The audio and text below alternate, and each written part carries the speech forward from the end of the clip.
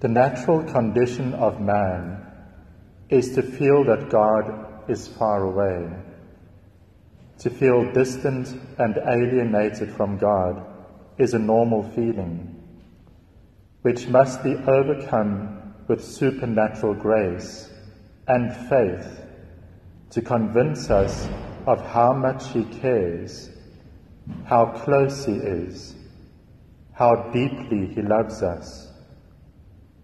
He remains with us day and night in the Blessed Sacrament. The Holy Eucharist is the new and everlasting covenant between God and man. Covenant means bond or belonging to. St. Peter tells us we were purchased not with silver or gold, but with the priceless blood of Jesus, the Lamb who was slain for love of us. Today, in a changing world, people search for a sense of belonging. Jesus in the Blessed Sacrament is a permanent sign that we belong to Him. We are His and He is ours. The theme of Psalm 100 is We belong to Him and eternal is His merciful love.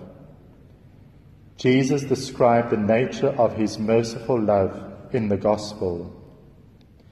The shepherd going in search of the lost sheep, the story of the prodigal son, his coming not for the just, but for the sinners, the woman rejoicing over finding the coin that had been lost.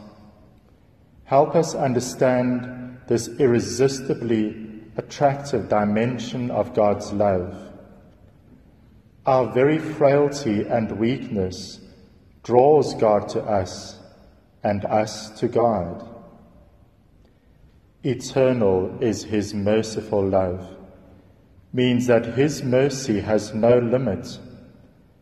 Infinite is His desire to forgive and to reach out to us with His healing power.